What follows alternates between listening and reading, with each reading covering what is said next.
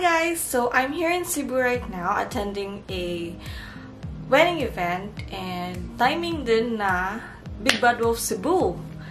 And I decided to bring my mom, my tita sa Big Bad Wolf at Sunday 3pm. Ang daming tao and ang traffic kind of, no, ang dark ng place. Parang kulang pa ng lighting, especially when books yung binibenta nila.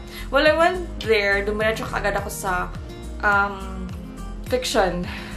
Yung mga Herc Jordan and yung hinahabol ng lahat ng tao. And sad to say, I was kind of disappointed sa mga nakita ko. Kasi it was just mostly soft-bound. So, check out this clip. Wow, sobrang daming tao, guys. Yung pila abot sa road. Kaya may bus. Let's go!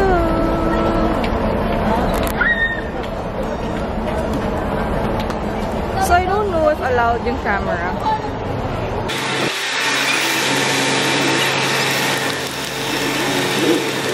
So, we're here at Big Bad Wolf, Cebu. Bawal ang bawal ang water.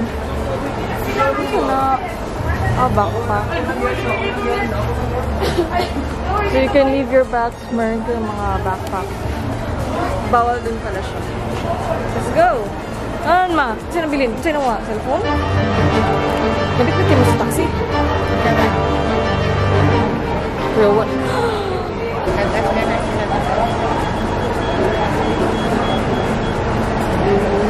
So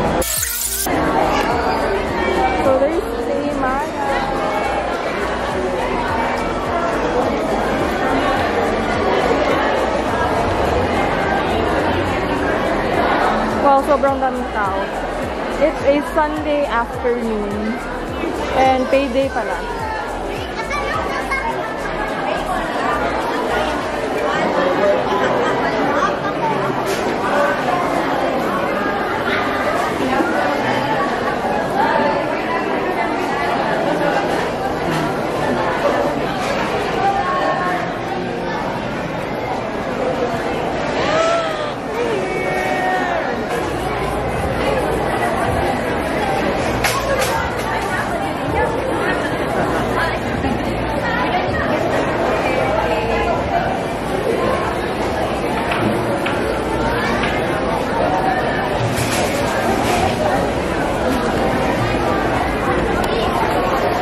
So guys, pasok na tayo. And before ko i-vlog lahat, una muna ako sa, na, sa Fiction Center ah. Alis ako guys.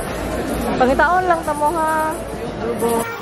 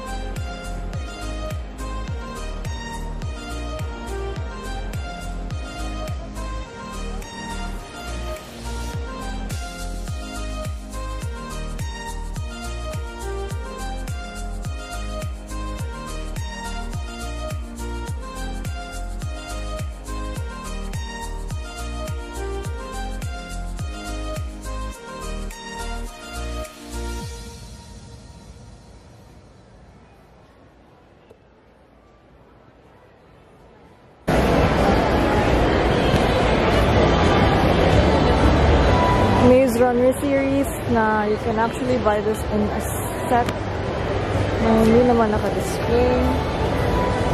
Narnia series. How much?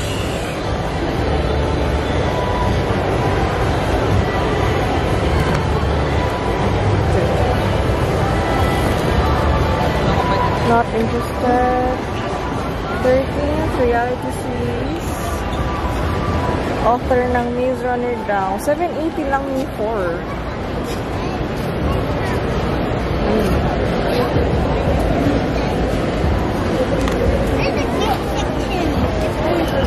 Yung Artemis Fowl, which I already have. Chemist again. Harry Potter set again. Are selling this. Hindi siya nakaset. Ang sobrang laki. Fifty Shades of Grey. Isang volume lang.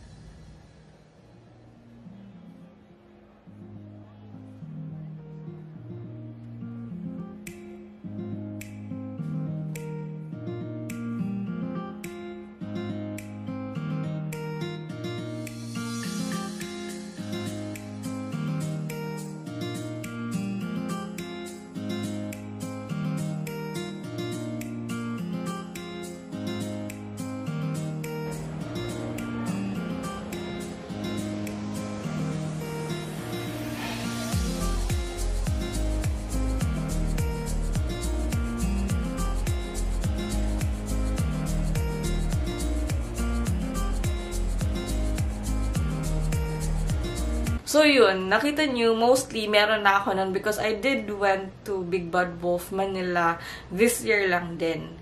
Same lang, the Harry Potter set was there, the uh, Artemis Fowl set was there, the yung mga Diary of Wimpy Kid, yun ba yun? Yung bago lang nakita ko was the Goosebumps set and the 20 Shakespeare for Children set na hindi ko hindi ko naman binili. Now, yung mga ano naman, um, kailangan ko na Jordan, I already have most of the naka-display. And then, meron sila mga bago, softbound naman. So, parang nasisira yung, yung collection ko. And then, when I went there, kulang-kulang na rin yung stocks, yung Son of Neptune. Meron naman siya sa yung pinopost ni Big Bad Wolf, pero um, wala siya during when I went there. So, it was the only time I have to go kasi nga alis na ako, punta na ako ng Manila. So, I just bought um, dalawa lang.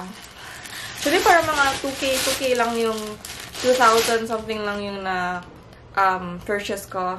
Unlike Big Bad Wolf Manila, I purchased around 20,000. Quick, quick, quick, ano lang, quick, see my whatever. This is the something new, uh, Cassandra Clear Lady Midnight. It's the book one of the Dark Artifact series. Softbound. I just bought this kasi um, this is one of, one thing that they advertised a lot. 230 pesos. Softbound siya. And then, as usual, yung Shadows, ano yun? Shadowhunter Academy andun din. Just like the Big Bad Wolf Manila. This one is new. Um, hindi ko naabutan yung hardbound, but there was a sample na naka-hardbound. Tapos after nun, puro softbound na yung nakita ko. Yun. So, I just bought this kasi nga, eh, ito na lang naabutan ko. This one is 190 pesos. Softbound. The Bane Chronicles. Part siya ng Cassandra Clare, of course. Actually, the Rick Riordan collection na. I can't compare what I had before kasi hindi ko memorize, but first I have na feeling ko wala ako is the Magnus Chase uh, Gods of Asgard hardbound. You see the yellow tag, meaning yun, if you're a member, magpapa-membership ka. So, from 230, magiging hindi siya klaro. Something is wrong with my camera. Hindi ko alam kung ano na-press ko. So, from 230, naging 190 na lang siya. What is nice about Cebu Big Bad Wolf is, during paying sa cashier, doon, pwede ka nang pa-member doon. Unlike sa Manila, before, few months ago, uh, doon ka pipila sa customer service, which is, pipila ka doon, tapos pipila ka ulit sa counter. Eh, free naman yung membership. You don't have to pay anything. Ba? Diba? And then, the next I have is, ito, ito, ito yung mga problema ko. Puro na softbound. Softbound na lahat. Eh, yung mga pinamili ko sa Manila, hardbound kulang-kulang. 213 isa, oh. Tapos softbound. Pero ba't ko ba binili? Kasi binili ko pa din. So, this was one is from King Chronicles to Red Pyramid. Nabasa ko na ito eh. Gusto ko lang ng collection. Pero pinili ko pa rin kahit alam ko na hardbound naman yung sa akin. And then this one is the Heroes of Olympus, Book 1, The Lost Hero. Pinili ko ulit kahit softbound lang siya. 230, medyo mahal nga to. Next is, one thing that I'm so pissed off is, di ba sa na Manila Big Bad Wolf, sobrang dinumugan yung Percy Jackson set. They salit ang sets. Ngayon, yung ginawa nila, look, Magpangit pala ito. Tinanggal nila yung set ng Percy Jackson, iniisa-isa nila. Ay, kulang tuloy. I was like, I have to find one-one each. Hindi yung isang set. So, one is 190 pesos. Softbound. Well, softbound naman talaga kapag set. Annoying lang kasi you have to like buy isa-isa. Ang dami nilang tinanggal sa set. Yung Maze Runner din, nakahiwala yung set eh, alam ko, by set yung benta nun, eh, nila. Ang pangit ng copy na nakuha ko dito kasi, um, meron siyang tag na tinanggal. Yun, sticky pa siya. And then, meron siyang dog ears. Gulo kasi din eh. Mostly kasi nakatambay yung mga tao dun sa part na yun. Tapos, ang liit ng space, unlike sa Manila, binigyan nila ng malaking space yung Rick Riordan na, na collection. Tapos, nag-aantay ng, ano, ng restocking. Tapos yung bukto nga nito, look, it's not part of the collection cover. Sea of Monsters, 190 din. Binili, binili ko na lang because I was, I don't know, I feel, I felt annoyed and disappointed na ganun. Ang weird nga kasi a lot of the VIP people commented on Facebook na wal, wala daw to. Wala daw to during the VIP day. Eh di ano meron? Wala to during the VIP day. Bakit to ganyan? I, I don't know. I, I don't wanna comment. I just read sa ano, sa comment section. So, okay lang din ako na wala ka sa VIP day. Anyway, um, this one naman is something, um, naka-display rin together with the Rick Riordan. So, I bought this na lang din. It's the Nostradamus Prophecy. It's 190 pesos soft bound ulit. I don't know what this is about, but I just bought it because I think it's a bit interesting. Hindi ko nakita yung Sherlock that they were advertising yung red na cover. Maybe naubos na din. So, one thing na hindi ko gusto sana bilhin pero nabili ko is this one. Uh, Percy Jackson and the Olympians. It's the ultimate guide. I haven't opened it yet. Ayoko may open. Mas din muna. Ayan. Pangit din, may damage. Whenever you buy a book um, sa Big Bad Wolf, double check, triple, quadruple check na walang mga damage. Yun kasi nagmamadali ako. So, kasi ang dami ng tao during Sunday. So, may damage din siya. Hardbound. Very, very hardbound. I'm not sure kung anong laman ito. And the last one is this one. Hardbound, very big, big, big book. It's the Percy Jackson's Greek Heroes illustrated illustration. Um, here. Barnes and Noble exclusive Greek Hero cheat sheet inside. Cheat sheet inside. Yan, malaki. Meron namang softbound. Lahat ng pinamili ko, actually, dalawa lang yung hardbound. Pero meron softbound. Pero ang dami din dun na naka-hardbound. Ito may softbound, maliit na version. Um, 350 to yung malaki. Yun naman, parang 200 something lang, 230. I don't, I don't remember, pero um, 200 something lang din. What else? What else do I have to say? Big Bad Wolf, Cebu, you are a disappointment. Although, um, is still the third day and alangan, alanganin na oras na ako pumunta. So, um, or maybe kasi nag-Big Bad Wolf Manila na ako, kaya hindi ako ganun ka-impressed. Kasi nga, same-same lang naman, like, mostly na yung naka-display doon sa Big Bad Wolf Cebu is nabili ko na din. So, yun lang yung connection ko. Additional collection and um, I do hope na mag-restock lang yung Son of Neptune or they would finally release the Percy Jackson set, but I doubt they would. But I'll keep myself posted because my brothers will just be here in Cebu. And now, magpapack na ako because I'm flying back to Manila in one hour. Bye-bye!